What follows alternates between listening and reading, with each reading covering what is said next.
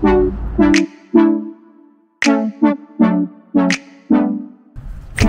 he has to come back at three o'clock to get sworn in.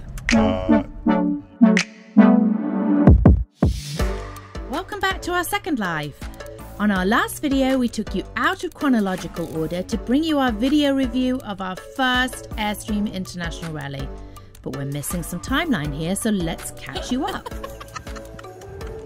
We were able to spend Christmas and New Year in Georgia, catching up with our family and friends. So it's New Year's Eve and we are parked on our sweet friend's driveway. She's having a party tonight. We get the beautiful option of just heading to our home on her driveway at the end of the night. Set up a sweet spot for everyone to hang out. The rig is all decorated and cute.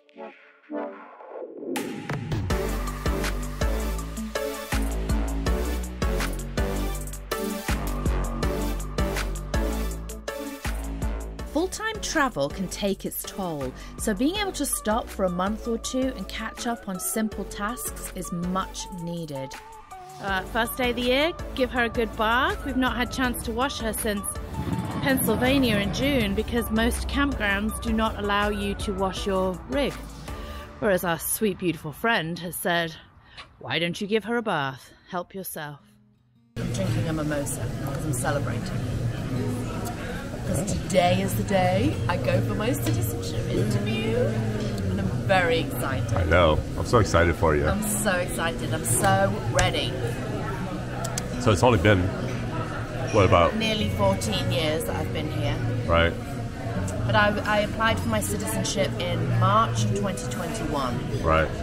So it's taken this long to get the interview. Right. And then there was talk during COVID of them allowing you to swear in that same day. But I don't know if they're going to do that. Some places have gone back to calling you back in two or three weeks later for a swearing in ceremony. So I could end the day as a citizen. But we won't know until I'm in my interview. Yeah. All right. So excited. It's do or die time. I time. know, I'm so excited. so excited. I'm I'm not at all nervous because I'm so prepared. Right. You've studied your butt off. I mean, you you you know you did the practice test of hundred questions. And I get them all right every Get them time. all right every time. So they're only going to ask me 10 questions and I have to get six right. I'm so extra. I'm going to be going, uh-uh, no, give me more, give yeah, me more. exactly. Oh, I'm So- so excited.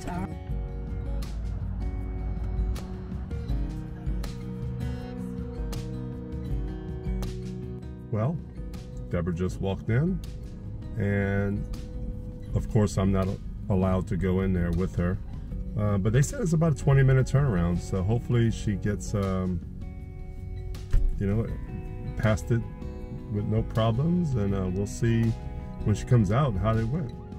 Guess he has to come back at three o'clock to get sworn in.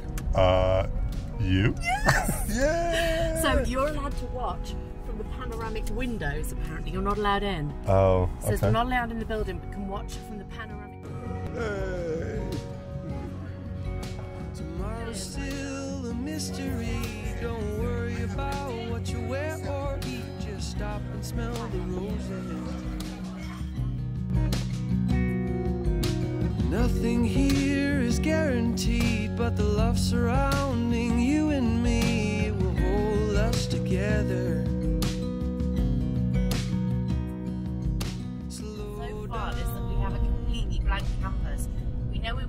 over the west coast. West coast is the best coast. Um, and see our oldest daughter. But how and how we get there and which way we go, it's wide open. I'm, I love this life. It's so exciting. So, no firm plans right now, but that's about to change.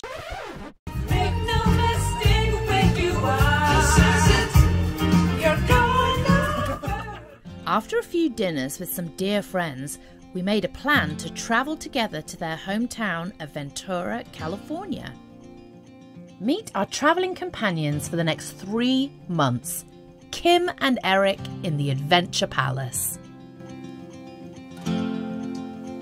We are finally leaving and back on the road. So exciting. So exciting. We're heading to Alabama to start with, um, to DeSoto State Park, has lots of waterfalls. And we are traveling uh, for the first three months. We're actually traveling with some dear friends of ours that we met um, in Texas in school at the NRVTA. So we're all traveling together. It means that Kevin and Erik can do some work on the road together. Um, but it's going to be fun. We are heading, we're heading out west. This is exciting. Come with us.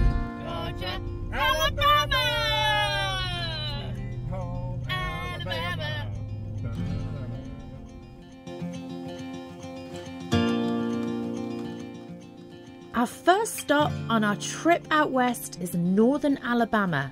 We can highly recommend DeSoto State Park, although the sites are quite sloped, making leveling a bit of an issue. we're having technical difficulties and the leaning is quite excessive.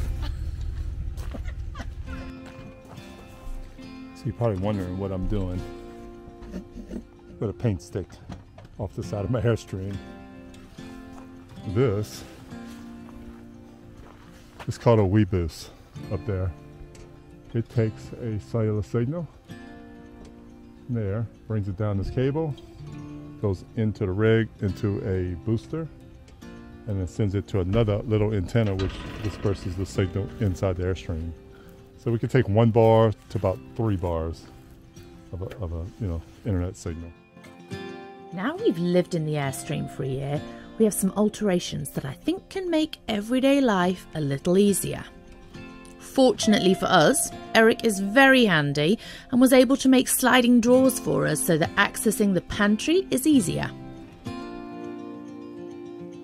Kevin also has a project that he wanted completed and found a welder who was able to attach this cargo carrier to the back of the Airstream, giving us extra space to carry the outdoor kitchen.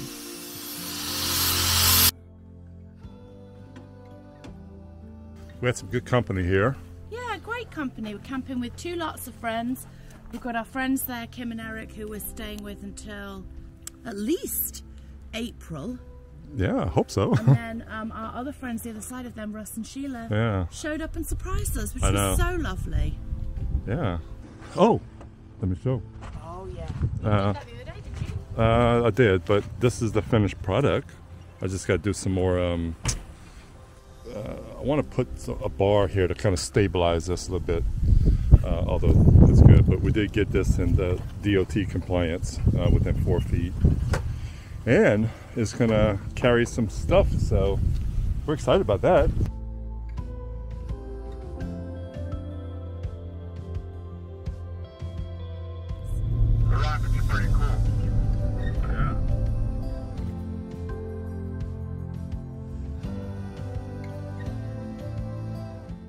So our first stop is the Harvest Host. And this is the Alabama Music Hall of Fame, which ironically we were just at um, Fort Payne, which is the home of the band Alabama.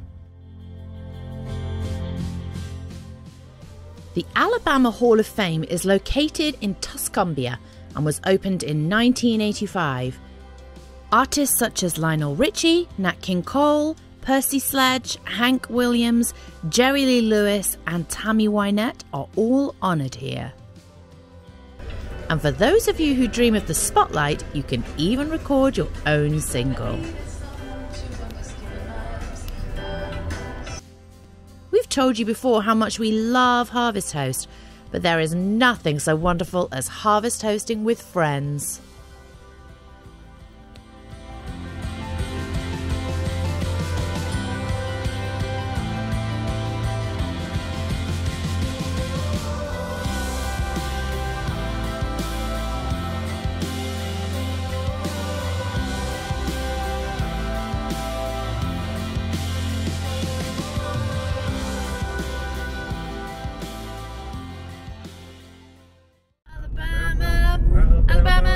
Mississippi! Yay! Welcome to Mississippi.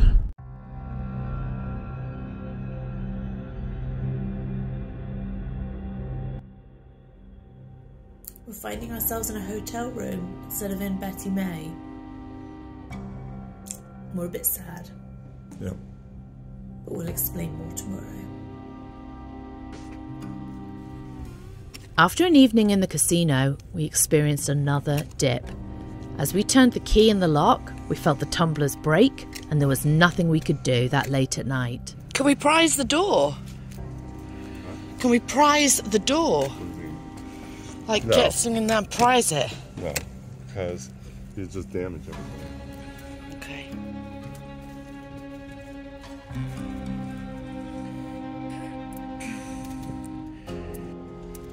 I'm gonna let Erik help you.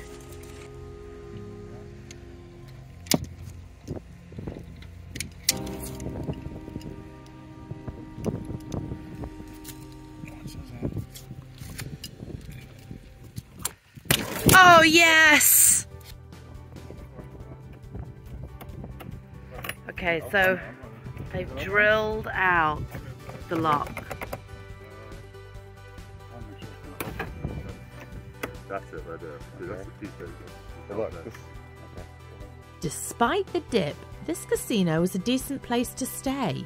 We like staying in casinos, especially if we're wanting to be close to a town and are unsure of the area. Casinos always have a lot of security, plenty of lights, and you get to enjoy the casino bars and restaurants, as well as their pools and hot tubs. All a short walk from your home, and who knows, you may win some money. We're heading out to a harvest host called Paw Paw's Pecans. So we'll see you there. And I don't know if you can see, but there is a startling amount of water um, all on the fields. Take me down to the river where the peace won't run dry. Gather round at the river where my soul comes to life and I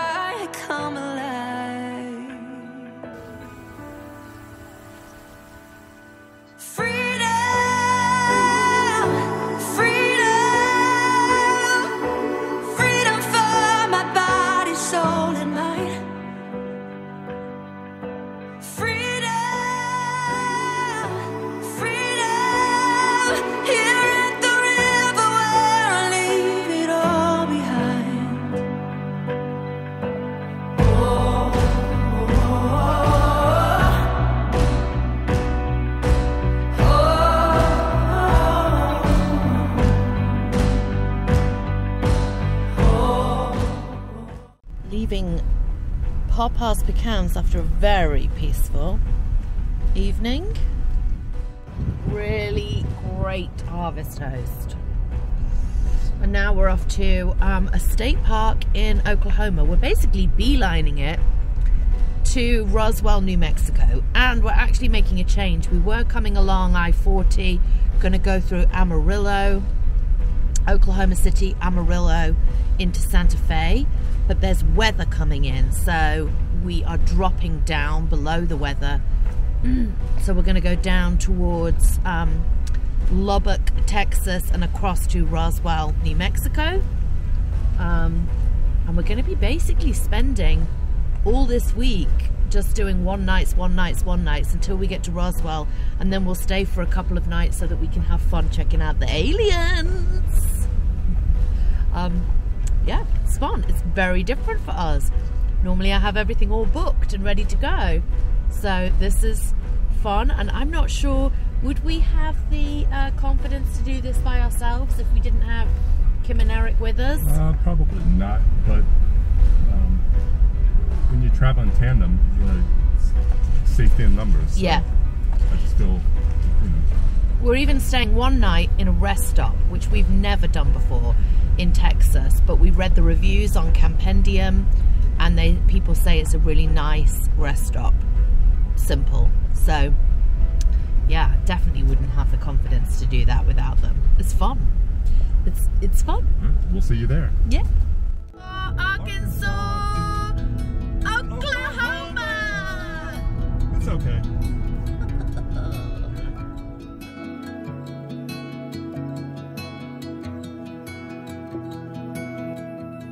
Oklahoma, Texas. Welcome to Texas. Drive through the night to lay underneath the stars. Feels like I'm dreaming to be wherever you are.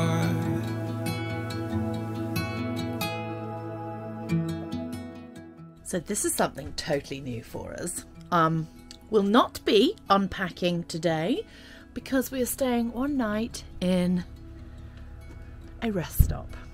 We're on the side of the road, side of uh, Highway 82 in Texas. Nice rest stop area. And here's where we're gonna stay tonight definitely outside of my comfort zone, but kind of fun. Look how beautiful this is.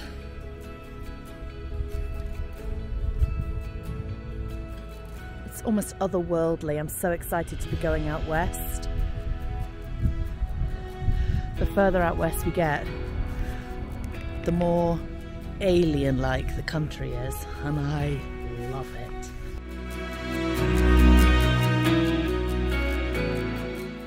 Thank you so much for watching our video. And if you've enjoyed it, please give it a like and maybe consider subscribing to our channel.